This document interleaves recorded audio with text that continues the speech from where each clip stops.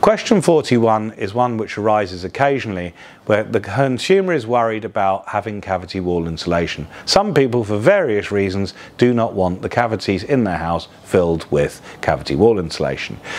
But this is normally a deal breaker. So if you look at the EPC and the rules of the voucher scheme, if you don't have cavity wall insulation, you don't get the grant. However, all is not lost. There is a, a form you can fill in, which is, which is an exemption form. And if you fill this in and send it to Ofgem, they will review your case.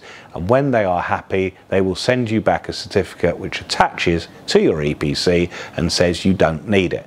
But this is something the installer won't do for you. It's something you have to do for yourself. So if you're thinking about a heat pump and you're worried about cavity wall insulation, just go on Google, type in exemption form for cavity wall insulation, download it and fill it in. I would get that all done before calling your installer and hand them the exemption form right at the beginning of the process. It makes their life easier and easier means cheaper.